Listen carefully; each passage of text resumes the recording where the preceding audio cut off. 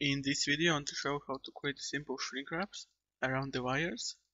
So let's say we have this shape, we want to create shrink wraps around them.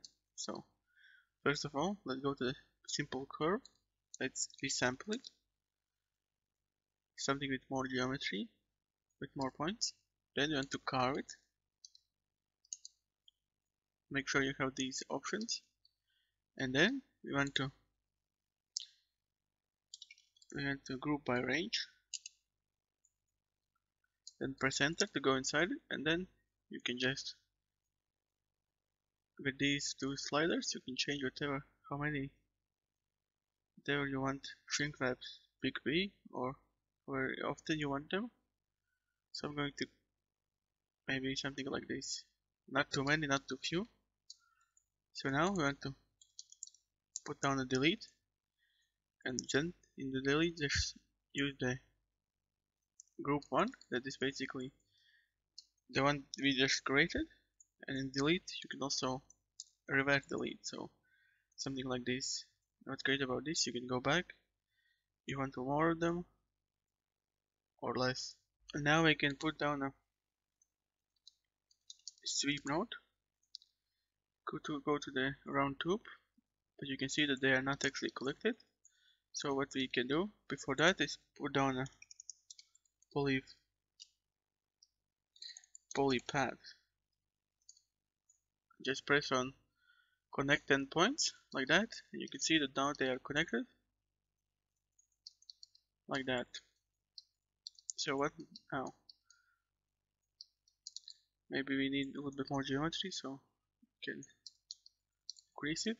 Now let's do our, our actual shrink wrapping. So what I'm going to do actually increase the sides so that we are not gaining any, any intersections. So let's put down uh, from this vellum cloth.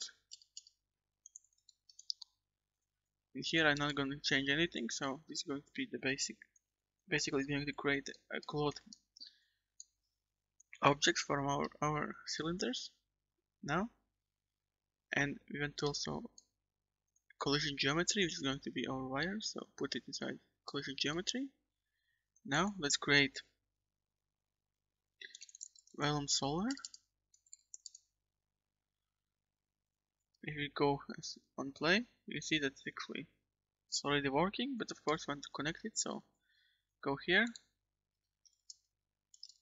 Attach the geometry node in a vellum cloth like that and of course you can see that actually we are already seeing the points points going to the closest polygon that it had. So that's exactly what I want. One thing I'm going to change in the stretch rest length scale I'm going to put it at zero. This is going to ensure that we have no buffer zone before before the wire and actual shrink wrap. So it's going to fit nicely around the wire so basically that's the only thing I'm going to change. If you go to the first and back to the simulation, you can see that it has shrink wrapped around it. Now it's not very nice looking now. What I'm going to do is just put down the smooth. I'm going to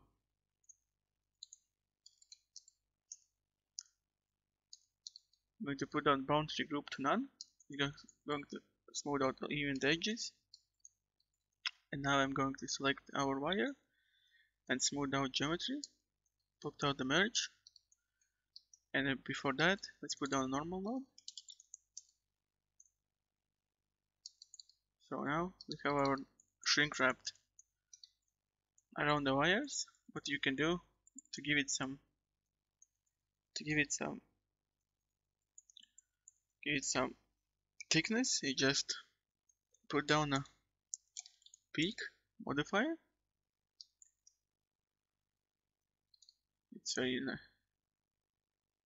just scale in a bit and then extrude.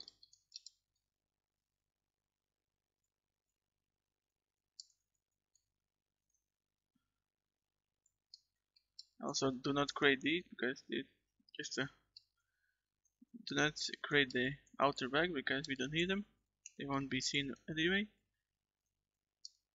and now you can see that we have created shrink wraps. Maybe little too maybe little too thick so something like that. So that's it for this tutorial. Thank you for watching. Subscribe for more. And take care